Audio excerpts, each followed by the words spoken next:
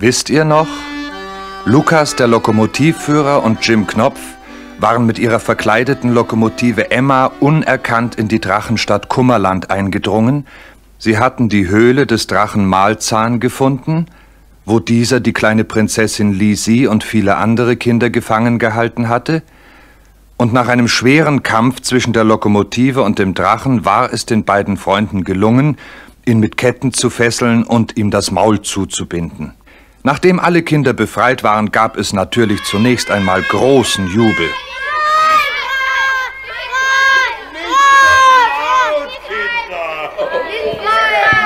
Hört mal alle zu. Ruhe, Ruhe. Hört zu, Leute. Wir wollen keine Zeit verlieren. Noch sind wir nicht in Sicherheit. Ich schlage vor, wir beraten erstmal, wie wir am besten aus dieser ungemütlichen Drachenstadt herauskommen. Ja. ja. ja. Emmas Verkleidung ist bei dem Kampf ziemlich kaputt gegangen. Die Drachen würden jetzt bestimmt etwas merken.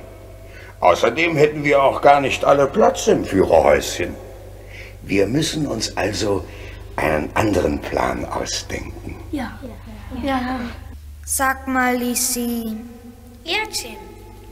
Die kleine Flaschenpost von dir, die sie in China aus dem gelben Fluss gefischt haben. Wo hast du die eigentlich ins Wasser geworfen? Hier hinter dem Haus ist so ein großer Brunnen. Aha. Kann man ihn von hier aus mal sehen? Ja, wenn ihr durch dieses Felsenloch hinunterschaut. Lukas und Jim steckten ihre Köpfe durch das Loch in der Steinwand und blickten in die Tiefe. Es war draußen schon ziemlich dämmerig, aber man konnte unten noch gut einen großen, dreieckigen Platz erkennen. In seiner Mitte stand ein gewaltiges Brunnenbecken, in dem ein mächtiger Quell goldgelben Wassers entsprang. Rauschend strömte es über die Ränder des steinernen Rundes und bildete einen breiten Fluss, der sich durch den Grund der düsteren Häuserschluchten davonschlängelte. Wenn Lisis Flaschenpost mit der Strömung bis nach China geschwommen ist, dann müssten wir es doch vielleicht auch können. Mit Emma. Oh, Donnerwetter, Jim. Das ist deine Idee. Ich kann aber nicht schwimmen. Brauchst du auch nicht, kleines Fräulein. Wir haben da nämlich ein prächtiges Schiff. Wenn man weiß, wie es gemacht wird, dann schwimmt unsere gute dicke Emma wie ein Schwan. Allerdings äh, brauchen wir dazu Teer, um alle Ritzen wasserdicht zu machen. Ach, Tee gibt's hier genug. Der Drache hat ein paar Fässer davon in seiner Vorratskammer. Tee ist doch das Lieblingsgericht für Drachen. Nun, der Teer in den Fässern war bald über einem lodernden Feuer in der Drachenküche flüssig gemacht. Jim und Lukas bereiteten ihre gute alte Emma für die Reise auf dem Wasser vor, genauso wie sie es damals gemacht hatten, als sie von Lummerland aus in See gestochen waren. Nur brauchten sie diesmal natürlich kein Segel. Sie ließen das Wasser aus Emmas Kessel ab, damit er voll Luft war, und verschmierten alle Ritzen an Türen und Fenstern wasserdicht mit Teer. Als sie endlich fertig waren, war draußen bereits stockdunkle Nacht. Die Drachenküche war nur vom Schein des prasselnden Feuers erhellt. Was wollen wir eigentlich mit dem Drachen anfangen? Den nehmen wir mit. Ich möchte ihn nämlich noch einiges fragen. Mitnehmen? Ja. Aber er ist doch viel zu schwer. Da geht Emma bestimmt unter. Außerdem bleibt für uns alle kein Platz mehr übrig, wenn er mitfährt. Dann, dann wird er sich eben dazu bequemen müssen, hinter uns herzuschwimmen. Aber dazu müssten wir ihm doch die Fesseln abnehmen. Der Drache ist furchtbar stark und wird sich bestimmt sträuben. Weißt du, wie wir das machen? Ganz einfach. Hast du nicht den langen Zahn gesehen, der dem Drachen aus dem Maul steht? An diesem Zahn machen wir eine Kette fest, die wir an Emmas Hinterteil hängen. Wenn er auch nur versucht, sich dagegen zu stemmen, dann wird er das am eigenen Zahn ziemlich unangenehm spüren. Ich wette, er wird so folgsam sein wie ein Lamm. Es geschah genau so, wie Lukas gesagt hatte. Als der Drache versuchte, dem Zug der Kette zu widerstreben, entrang sich seiner Brust ein schmerzliches Stöhnen. Denn der Zahn war seine empfindlichste Stelle. Es blieb dem riesigen Untier gar nichts anderes übrig, als zu folgen.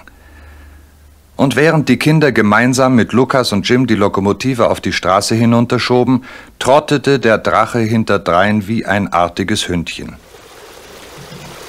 Im Schutze der völligen Dunkelheit erreichte der seltsame Zug den gewaltigen Brunnen, in dem der Fluss entsprang.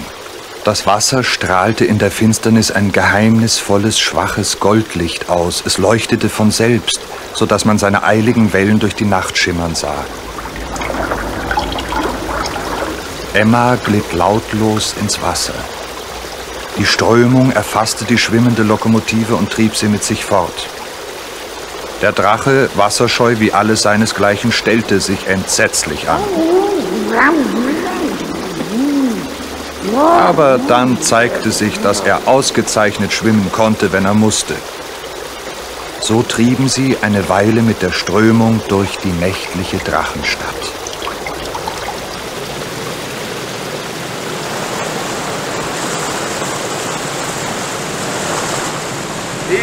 Strömung wird immer reißender. Achtung! Da kommt irgendein Felsen vor, glaube ich. Da! Sucht euch alle! Sie waren in einen Wasserfall geraten, der tief, tief ins Erdinnere hinunterstürzte. Die Kinder drückten die Augen zu und klammerten sich fest aneinander.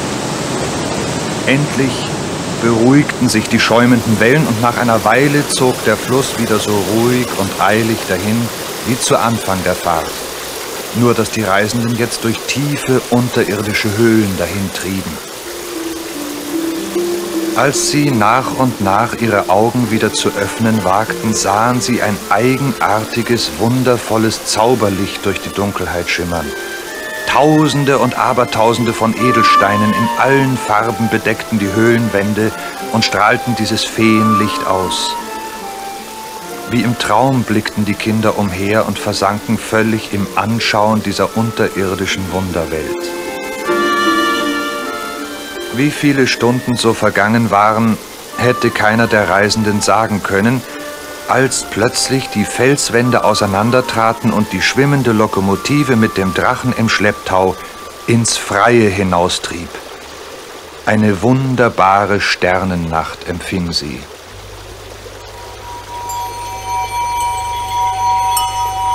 Was sind denn das für Glöckchen? Hör doch mal, Lukas. Schaut mal, die Bäume dort am Ufer, die sind ja ganz durchsichtig. Und da ist eine Brücke aus Porzellan. Das ist China. Bestimmt.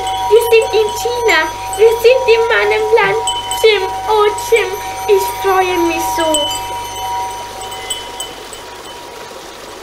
Und vor lauter Freude fiel die kleine Prinzessin Jim Knopf um den Hals und gab ihm einen Kuss auf den Mund.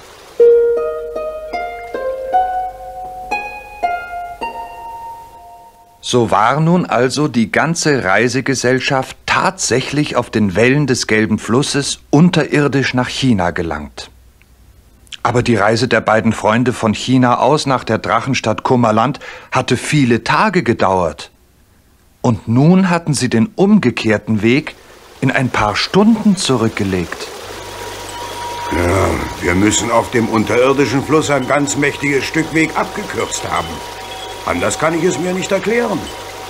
Aber es wird noch eine Weile dauern, bis wir in der Hauptstadt Ping ankommen. Und deshalb schlage ich vor, dass uns Prinzessin Li Si erzählt, wie es eigentlich zuging, dass sie in die Gefangenschaft des Drachen gekommen ist. Ich meine, wenn ihr alle Lust habt. Ja, ja Lisi soll erzählen. Ja, Lisi soll erzählen. Es war in den großen Ferien.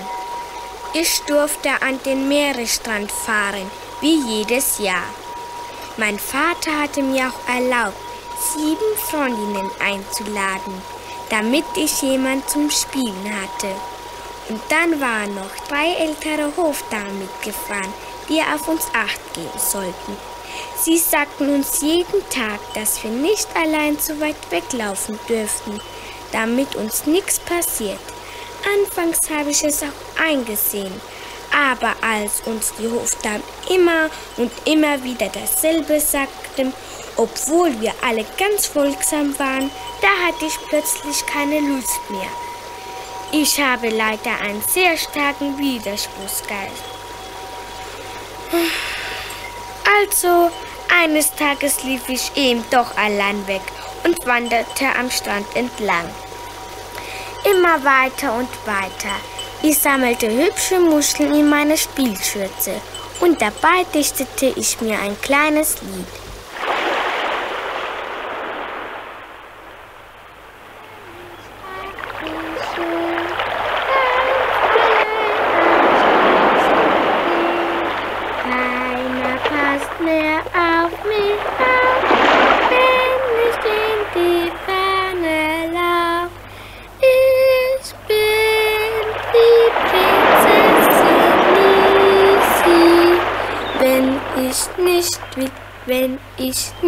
Will, mich finden.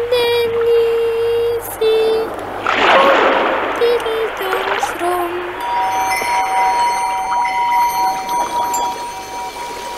Auf einmal sah ich draußen auf dem Meer ein großes Schiff auftauchen, das direkt auf die Stelle der Küste zukam, wo ich stand.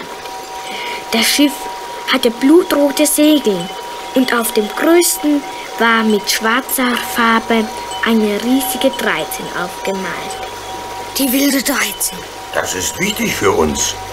Erzähl weiter, Lisi.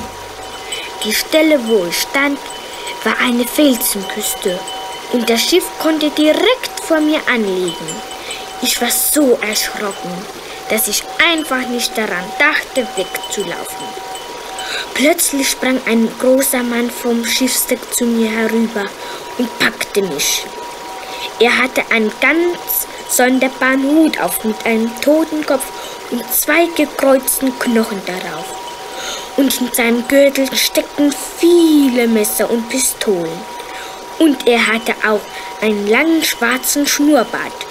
Ich wollte fortlaufen, aber er packte mich an meinen Zöpfen und hielt mich fest. Ah, ein kleines Mädchen, das ist ein prächtiger Fang. nein, ich will nicht, lass mich los. Du kommst uns gerade recht, du kleine Kröte. Er hob mich hoch und warf mich einfach durch die Luft auf das Schiff hinüber. Dort fing mich ein anderer Mann auf, der ganz genauso aussah wie der erste. Dann sah ich, dass auf dem Schiffsdeck noch eine ganze Menge andere Männer standen, die sich untereinander alle zum Verwechseln ähnlich sahen. Die Kerle steckten mich in einen Käfig und kümmerten sich nicht mehr weiter um mich, obwohl ich so weinen musste, dass meine Schürze ganz nass davon wurde. Das Schiff segelte in Windeseilen davon und bald war weit und breit nur noch Wasser zu sehen. Als es dunkel wurde, zündeten sie Laternen an und setzten sich um ein großes Fass. Jeder füllte seinen Humpen und dann fingen sie zu singen an. Es war ein Lied, in dem immer was von 13 Mann vorkam. Deshalb hatten sie vielleicht auch die große 13 auf ihr Segel gemalt. Jetzt verstehe ich, warum auf dem Paket, in dem ich drin war, eine große 13 als Absender drauf war. Was für ein Paket? Wenn ihr nichts dagegen habt, dann soll jetzt erstmal Lisi ihre Geschichte fertig erzählen, damit alles hübsch der Reihe Also gut. Wir waren schon den zweiten Tag unterwegs, ohne dass sich jemand um mich gekümmert hätte. Als es wieder Abend wurde und die Seeräuber wieder um ihr Brandwein versaßen, hörte ich, wie sie sich unterhielten. Hör zu, Brüder. Hör dazu. Hör dazu, hör dazu.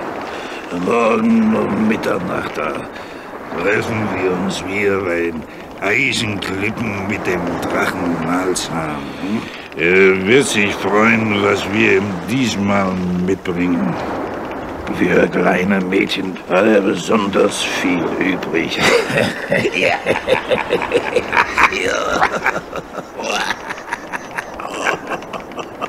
Das ist gut, Bruder. Da gibt's endlich wieder neuen Schnaps für uns. Wäre auch langsam Zeit. Das Fass da ist schon bald leer.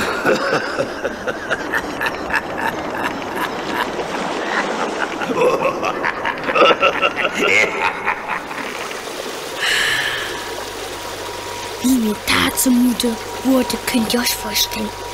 In der nächsten Nacht wehte ein schneidender Wind. Plötzlich sah ich etwas vom Weiten durch die Dunkelheit blinken. Wir näher kamen, erkannte ich, dass es ein paar schroffe Klippen aus blankem Eisen waren, die mitten aus dem wilden Meer aufragten. Und auf einer von ihnen saß wartend ein großer Drache.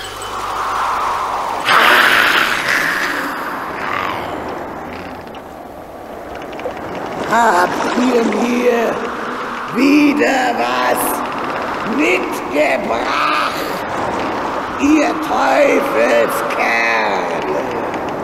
Jawohl! Diesmal ist es ein besonders feines, kleines Mädchen. Was wollt ihr dafür, ihr Gauner? Dasselbe wie immer. Ein Fass voll echtem Kummerländer Brandwein. Marke Drachendurgel. Das ist der einzige Schnaps auf der Welt, der mir und meinen Brüdern stark genug ist. Ein ganzes Fass! Das ist mir zu teuer! Wenn du nicht willst, dann fahren wir eben wieder ab. Sie handelten noch eine Weile hin und her, aber schließlich gab der Drache das Wasser raus und bekam dafür von den Seeräubern den Käfig mit mir drin. Wie der Drache mit mir dann von den eisernen Klippen in die Drachenstadt gekommen ist, weiß ich auch nicht, weil er eine dicke Decke um meinen Käfig wickelte. Ja, und dann waren wir in der Wohnung von Frau Malzahn. Ich wurde wie alle anderen Kinder, die schon da waren, mit Ketten an die steinerne Schulbank gefesselt. Nur nachts zum Schlafen nahm uns Frau Malzahn die Ketten ab. Und da ist es mir einmal gelungen, die Flaschenpost durch das Fenster in den Brunnen hinunter zu werfen. Von da an warteten wir Tag für Tag auf unsere Rettung. Und dann seid ihr gekommen.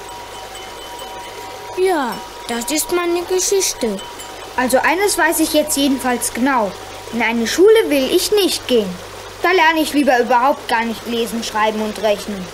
Ach, kannst du es denn noch nicht? Du bist doch mindestens ein Jahr älter als ich. Bei uns zu Hause in Lummerland gibt's keine Schule, wo Jim es hätte lernen können. Verstehst du, Lisi?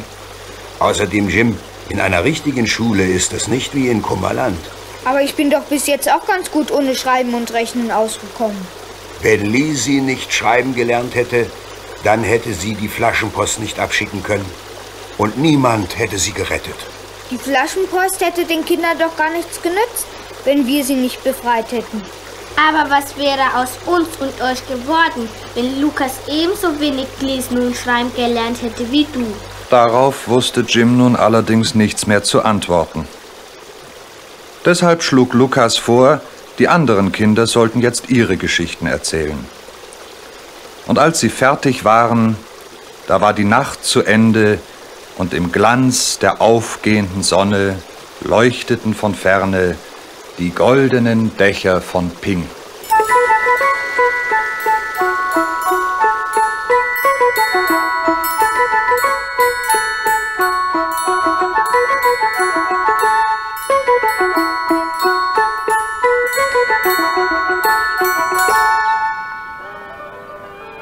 Als sie am Flussufer vor den Toren der chinesischen Hauptstadt anlegten, wurden sie dabei von einem Landgendarm entdeckt, der zufällig auf seinem hochrädrigen Fahrrad die Straße entlang kam. Auf der Stelle riss er sein Rad herum und jagte der Stadt zu. Mit heraushängender Zunge strampelte er durch die morgendlichen Straßen zum kaiserlichen Palast. Sie sind da! Sie sind zurück! Die beiden Helden aus Nummerland mit ihrer Lokomotive! Sie haben unsere kleine Prinzessin Lisi mitgebracht! Und viele, viele andere Kinder! Und der Drache ist auch dabei! Sie sind da! Sie sind da! Sie sind da! Es ist einfach nicht zu beschreiben, was für eine Aufregung diese Nachricht in der Hauptstadt auslöste. In kurzer Zeit waren alle Straßen, durch die die Lokomotive auf ihrem Weg zum kaiserlichen Palast kommen musste, mit Blumen, Bändern, Fahnen, Luftschlangen und Transparenten geschmückt. und zu beiden Seiten der Straße stand die Menschenmenge dicht gedrängt und wartete auf den Einzug der Heimkehrenden. Und dann kamen sie.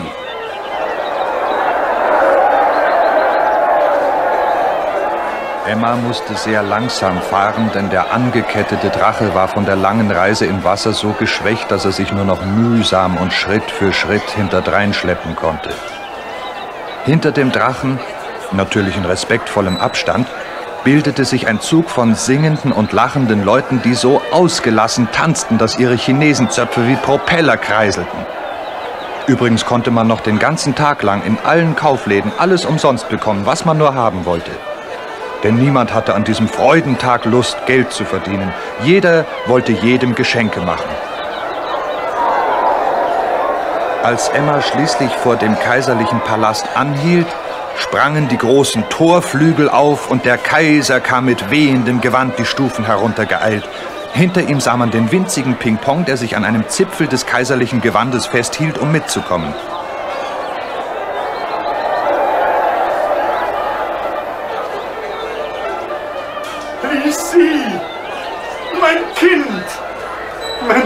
Liebe kleine Lissi.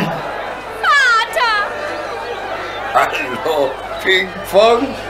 Was hast du denn da für ein prächtiges goldenes Schlafröckchen an? denkt euch nur, ehrenwerte Lokomotivführer, der erhabene Kaiser hat mich anstelle des abgesetzten Herrn Pipapo zum Oberbonzen ernannt. Wirklich?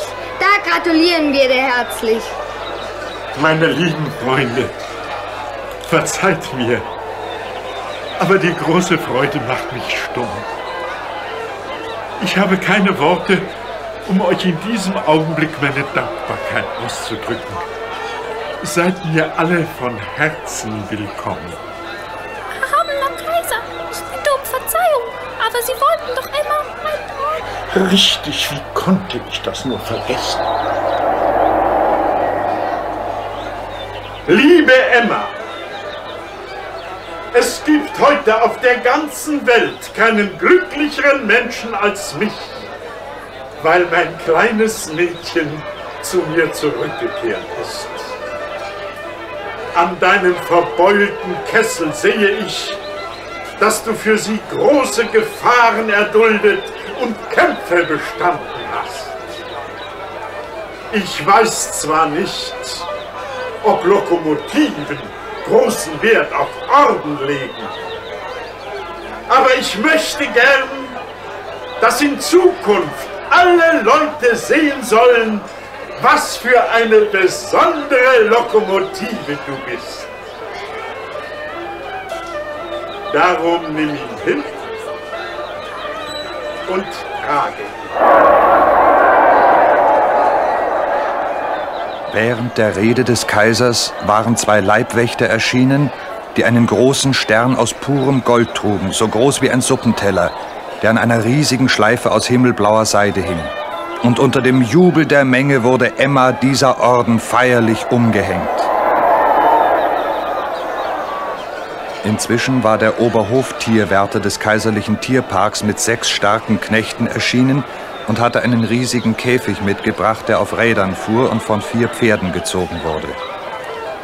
Der Drache war so kleinlaut geworden, dass er ohne Sträuben in den Käfig hineintrottete, nachdem Lukas ihn von der Kette befreit hatte.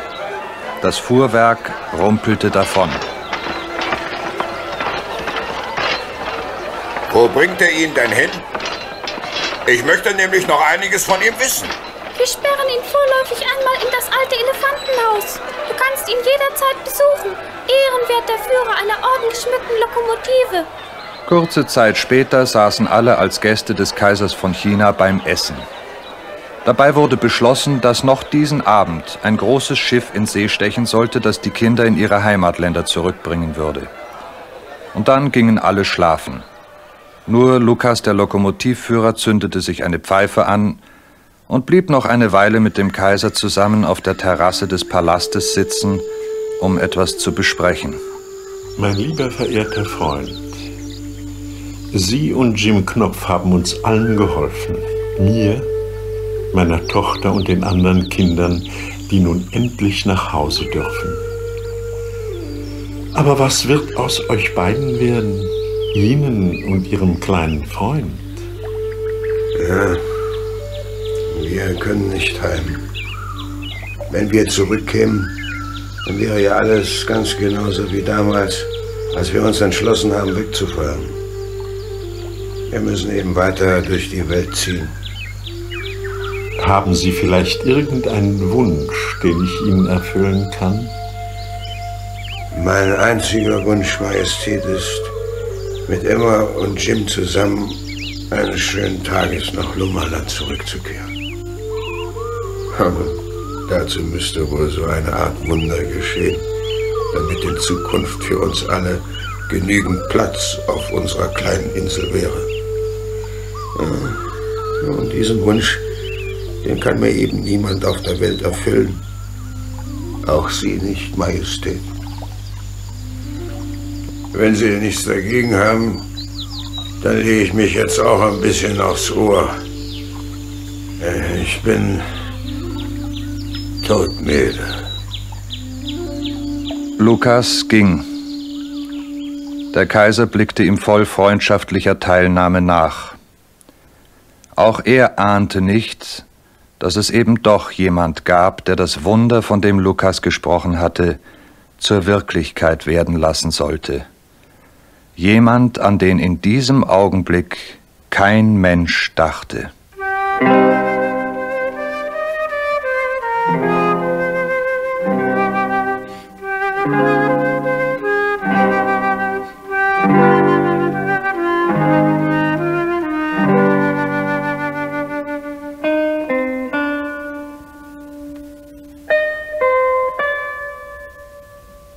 Lukas und Jim schliefen noch immer erschöpft von der nächtlichen Reise, als sie plötzlich durch heftiges Pochen an der Tür des Palastzimmers, in dem sie untergebracht waren, aufgeschreckt wurden.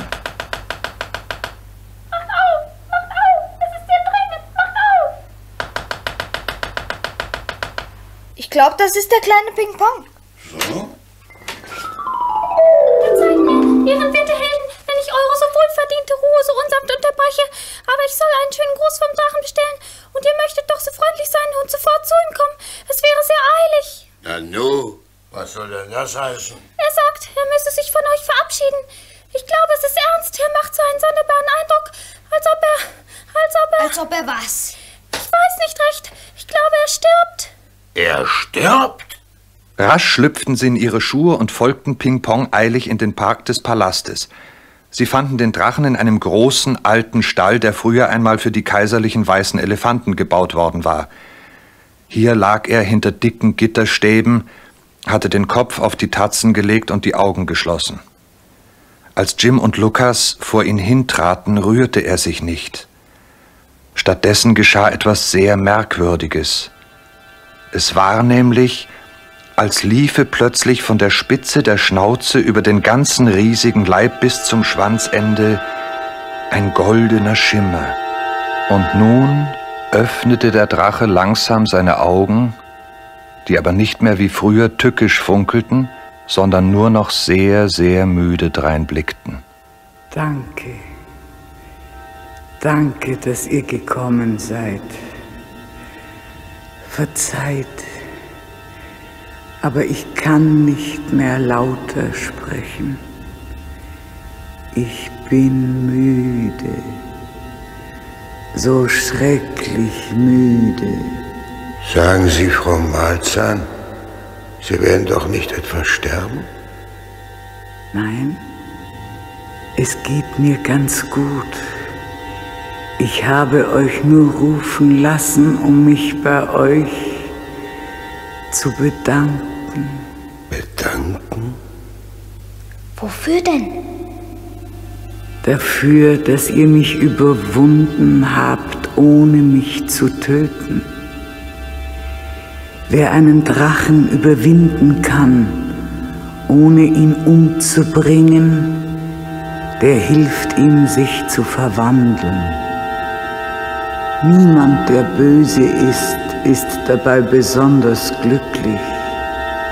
Und wir Drachen sind eigentlich nur so böse, damit jemand kommt und uns besiegt. Leider werden wir dabei meistens umgebracht.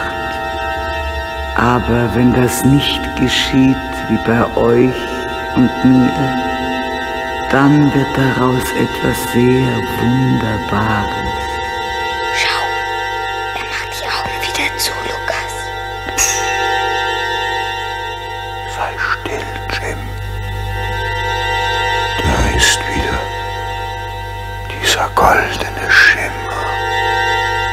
Wenn wir verwandelt sind, dann heißen wir goldener Drache der Weisheit. Man kann uns alles fragen. Wir wissen viele Geheimnisse und lösen alle Rätsel. Das Wasser des gelben Flusses, in dem ich schwimmen musste, hat mein Feuer ausgelöscht. Jetzt bin ich sterbensmüde. Wenn der goldene Schimmer das nächste Mal über mich gehen wird, dann werde ich in einen tiefen Schlaf versinken und es wird aussehen, als sei ich tot. Aber ich werde nicht sterben. Ich werde ein ganzes Jahr reglos liegen. Bitte sorgt dafür, dass mich niemand berührt in dieser Zeit meiner Verwandlung. Nach einem Jahr von dieser Stunde an werde ich aufwachen und ein goldener Drache der Weisheit sein. Dann kommt zu mir. Ich werde euch alle Fragen beantworten.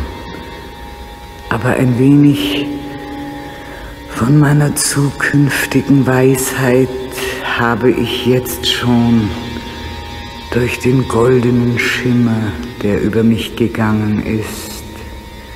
Wenn ihr also etwas wissen wollt, dann fragt, aber fragt schnell. Es bleibt nur wenig Zeit. Ja, also. äh, Was soll ich denn fragen? Frag doch wegen Lummerland. Oh ja, ja.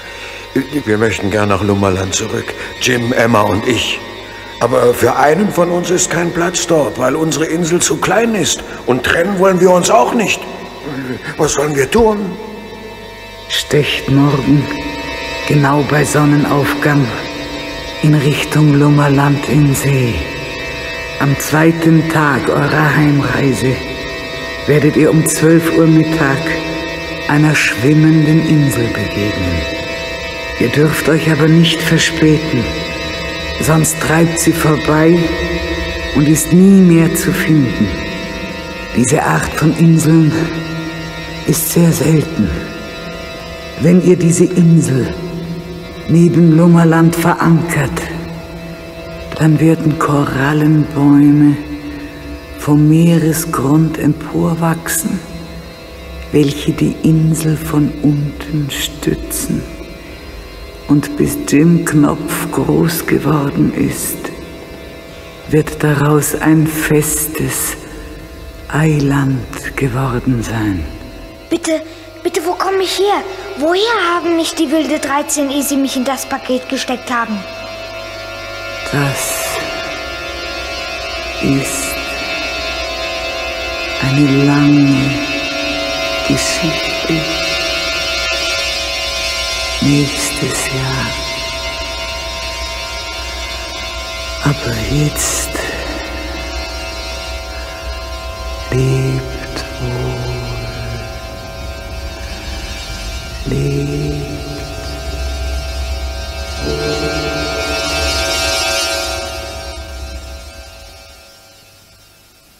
Da ist nichts mehr zu machen, Jim.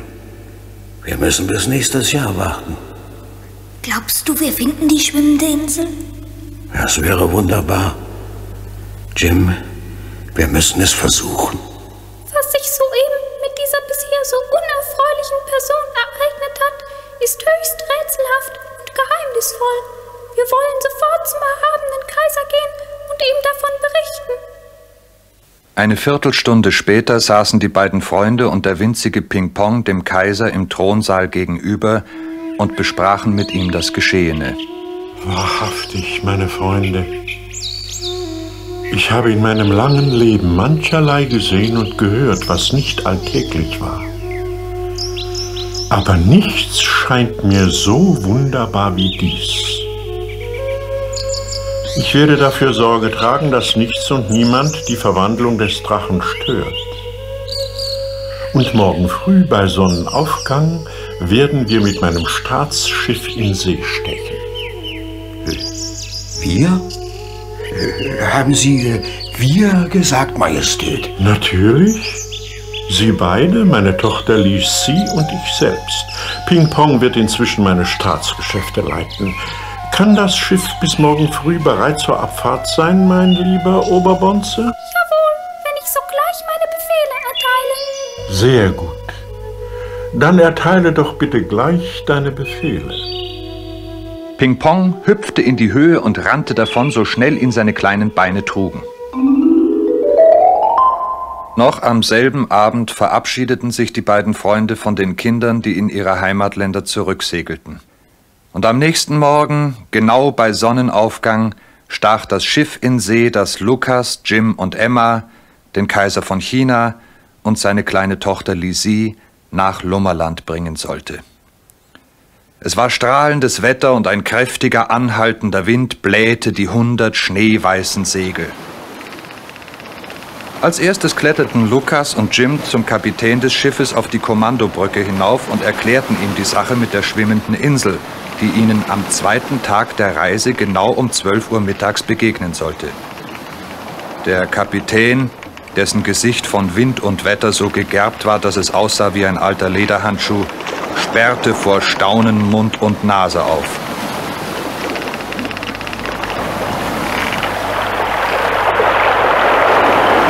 Da soll mich doch gleich ein betrunkener Haifisch beißen. Ich fahre jetzt schon ein halbes Jahrhundert zur See, aber eine schwimmende Insel habe ich noch nie gesehen. Woher wisst ihr denn so genau, dass der morgen gerade um 12 Uhr an uns vorbeikommt? Frau Malzahn hat's uns gesagt, ehe sie eingeschlafen ist. So, so. Frau Malzahn. Ich kenne die Dame nicht, aber ich glaube eher, ihr seid eingeschlafen und habt geträumt, das? Äh, das hat schon seine Richtigkeit, Kapitän. Frau Malzahn ist nämlich ein Drache. Ihr wollt mich wohl verulken, ihr zwei. Ganz und gar nicht. Es ist unser voller Ernst. Bitte schicken Sie doch auf jeden Fall einen Mann in den Mastkorb, der Ausschau hält, damit wir nicht am Ende vorbeisegeln. So, den Gefallen kann ich euch tun, Leute. Aber seid ihr wirklich ganz sicher? Ganz sicher nicht. Wir müssen eben sehen, ob es wahr ist. Die beiden Freunde kletterten wieder zum Kaiser und der kleinen Prinzessin hinunter, die auf dem Verdeck in der Sonne saßen. Ah, da seid ihr ja wieder, meine lieben Freunde. Setzt euch zu uns. Ich möchte nämlich gerne eine wichtige Angelegenheit mit euch besprechen. Was gibt's denn, Majestät? Wie ihr euch vielleicht erinnert, habe ich mich öffentlich verpflichtet, meine Tochter demjenigen zu vermählen, der sie aus der Drachenstadt befreit. Richtig, Majestät, das haben Sie getan. Aber nun seid ihr ja zwei. Was ist da zu tun? Wer von euch beiden soll sie denn nun bekommen? Das ist doch nicht schwer. Derjenige, der Sie selber am liebsten mag und dem Sie auch schon einen Kuss gegeben hat. Und welcher von euch beiden ist das? Jim Knopf natürlich. Und außerdem war es Jim, der Lisi befreit hat. Darüber besteht kein Zweifel. Ich und Emma, wir haben ihm bloß dabei geholfen. Ach ja, das freut mich aber wirklich. Zwar sind die beiden ja noch ein bisschen klein, um gleich zu heiraten, aber sie könnten sich ja zunächst einmal verloben. Was meint ihr beiden dazu? Das muss Tim entscheiden. Ja, ich, äh, ich weiß nicht. Ich richte mich ganz nach dir, Lisi. Nein, du musst es sagen, Jim. Na also, dann, dann sag ich, dass wir die Verlobung in Lummerland feiern. Einen Tag später saßen die beiden Freunde mit dem Kaiser und Lisi zusammen beim Mittagessen. Aber obgleich es ganz ausgezeichnet gekocht war, gab keiner von ihnen recht Acht darauf. Die beiden Kinder sprangen immer wieder vom Tisch auf und warfen einen forschenden Blick über die Wellen. Und auch der Kaiser selbst starrte manchmal minutenlang gedankenverloren auf das Meer hinaus. Lukas zog immer wieder seine Taschenuhr hervor und sah nach der Zeit.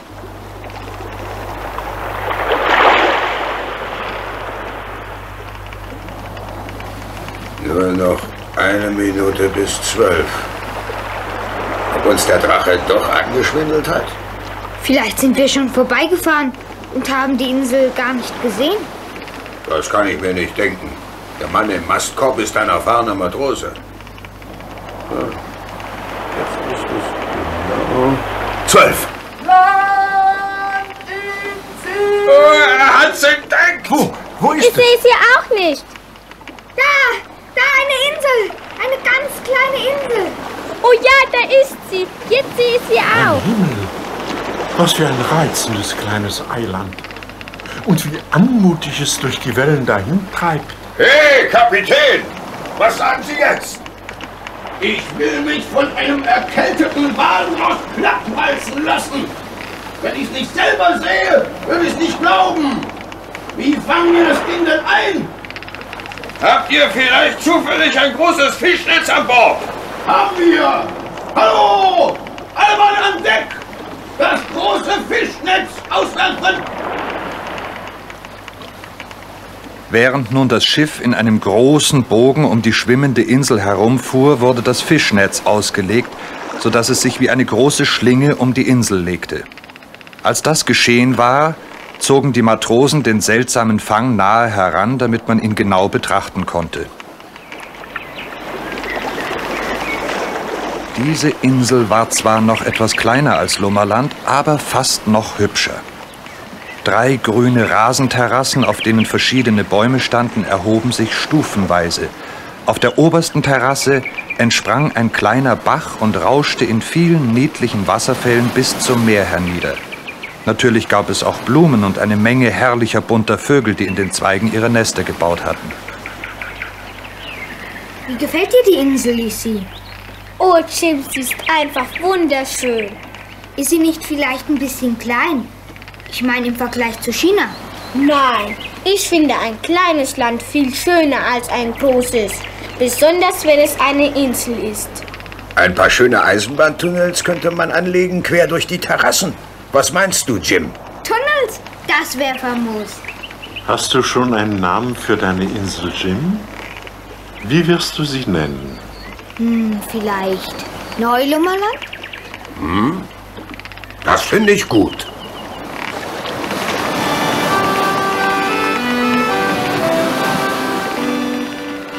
Und so segelte das große Schiff mit der kleinen schwimmenden Insel Neulummerland im Schlepptau auf das alte Lummerland zu, wo niemand etwas von der Heimkehr der beiden Freunde ahnte.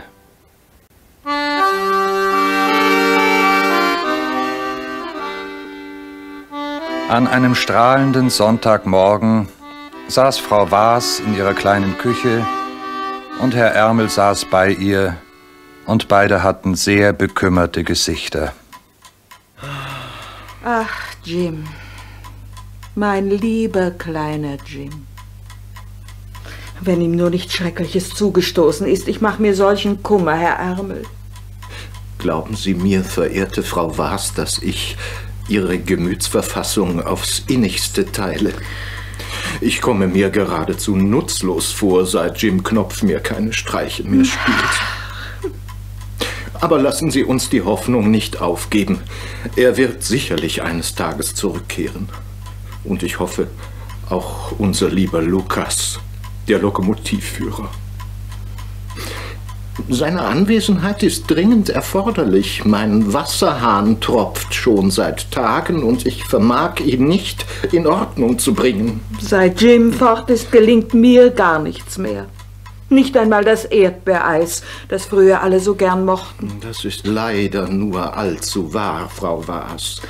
Es ist mir auch schon aufgefallen. Oh. Aber es geht Ihnen nicht anders als seiner Majestät, unserem allseits verehrten König Alfons. Auch er ist tief betrübt. Er hat sich sogar schon dahingehend geäußert, dass er seinen Beschluss, die alte Emma abzuschaffen, inzwischen sehr bedauern. Hm. Was ist denn da los? Herr Ärmel, schauen Sie doch mal zum Fenster hinaus. Was ist denn da für ein großes Schiff da draußen am Strand? Das ist ja. Es, es, es hat ja eine, eine ganze Insel im Schlepptau. Ja, ja da, das sind am Ende Inselräuber, oh. die es auf Lummerland abgesehen haben. Um Himmels Willen, was machen wir denn da? Frau Was! Wir sind da! Frau Was! Wir das sind wieder da! Doch. Oh, Herr Ernst, das, das ist doch Jim! Frau Was! Wir sind wieder da! Oh, Jim! Mein Jim! Und dann fielen sie sich in die Arme und begrüßten sich, und das dauerte begreiflicherweise eine ganze Weile. Inzwischen kamen auch Lukas und Lisi und der Kaiser von China an Land, und schließlich wurde sogar die dicke alte Emma vorsichtig vom Schiff heruntertransportiert und auf ihre alten Gleise gesetzt, auf denen in der Zwischenzeit Moos und Gras gewachsen war. Emma trug noch immer ihren großen goldenen Orden mit der blauen Schleife und stieß in einem fort kleine Freudenpfiffe aus. Als Herr Ärmel, der ganz fassungslos vor Staunen dastand, endlich begriffen hatte, wer da gekommen war, rannte er sofort zum Schlösschen zwischen den beiden Gipfeln hinauf und polterte aufgeregt gegen die Tür. Aber ja, doch. Ich komme wohl. Was ist denn los? Majestät, Majestät, entschuldigen Sie gnädigst, es ist von höchster Wichtigkeit. L Lukas, der Lokomotivführer, ist soeben angekommen und Jim Knopf und ein äh, kleines Mädchen und ein alter Herr, der sehr vornehm aussieht und ein Schiff ist da mit einer ganzen Insel im Netz. Weiter kam Herr Ärmel nicht mehr, denn im selben Augenblick flog die Tür des kleinen Palastes auf und der König stürmte heraus. Er hatte zwar nur ein Nachthemd an, aber seine Krone hatte er in aller Eile schon auf den Kopf gestülpt. Und nun gab es ein Begrüßen und Händeschütteln und Umarmen, das überhaupt kein Ende mehr nehmen wollte. Inzwischen hatten die Matrosen die schwimmende Insel neben Lummerland festgemacht, so nahe, dass man mit einem großen Schritt hinüberspringen konnte. Unter Jims Führung betrat die Gesellschaft den neuen Grund und Boden und ging darauf spazieren. Und König Alfons rief ein ums andere Mal, Das ist die Lösung des Problems. Wer hätte aber auch an sowas gedacht? Nun leiden wir nicht mehr an Übervölkerung. Zum ersten Mal seit langer Zeit werde ich wieder in Frieden schlafen. Noch am selben Abend wurde die Verlobung von Jim Knopf und Prinzessin Lisi gefeiert. Es war die vergnügteste Verlobung, die man sich vorstellen kann. Überall auf Lummerland und Neulummerland waren bunte Lampions aufgehängt. An Bord des kaiserlichen Schiffes spielte ein chinesisches Seemannsorchester lustige Musik und als es ganz dunkel geworden war, brannten die Matrosen ein wunderbares Feuerwerk ab zu Ehren des jungen Paares.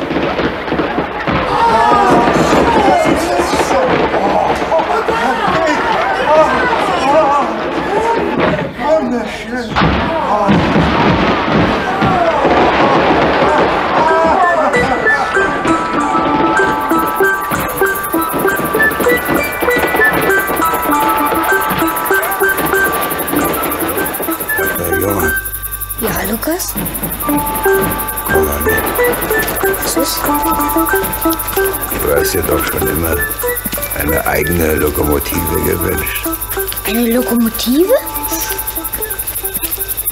Komm mit zu Emma. Hörst du das? Mhm. Was schnaufen? Hör mal ganz genau. Als Jim in Emmas Tender blickte, da saß dort eine ganz kleine Lokomotive, die emsig vor sich hinschnaufte und winzig kleine Rauchwölkchen ausstieß. Ist das Emmas Kind? Mhm. Und sie soll dir gehören, Jim. Musst sie eben gut pflegen, bis sie größer geworden ist. Wie soll sie denn heißen? Wie fändest du? Molly. Molly. Das ist ein guter Lokomotivname. Ein paar Tage später fuhren der Kaiser und die kleine Prinzessin nach China zurück, aber die beiden Kinder konnten sich von nun an so oft besuchen, wie sie Lust hatten, denn das Staatsschiff segelte häufig zwischen Lummerland und China hin und her. Auf der kleinen Insel kehrte das alte, friedliche Leben wieder ein. An schönen Abenden sah man die beiden Freunde oft nebeneinander an der Landesgrenze sitzen. Die untergehende Sonne spiegelte sich im endlosen Ozean und baute mit ihrem Licht eine goldene, funkelnde Straße vom Horizont bis vor die Füße der beiden Lokomotivführer. Und ihre Blicke folgten dieser Straße, die in weite Fernen führte, in unbekannte Länder und Erdteile. Niemand konnte sagen, wohin. Und dann sagte der eine zum anderen, Weißt du noch, Lukas, damals bei Herrn Tutur? Hm? Ich möchte wissen, wie es ihm jetzt geht. Und erinnerst du dich noch, als wir durch die Region der schwarzen Felsen fuhren und vor dem Mund des Todes alles verloren schien?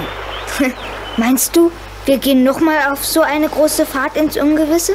Kann schon sein, Jim. Es gibt noch eine Menge Rätsel, die wir erforschen müssen. Eines Tages werden wir auch erfahren, woher die wilde 13 dich geraubt hat, als du noch ganz klein warst. Und wer ich in Wirklichkeit bin. Aber dazu müssen wir diese Seeräuberbande, die noch immer die Meere unsicher macht, erst finden und besiegen. Und das, Jim, das wird ganz bestimmt keine Kleinigkeit sein.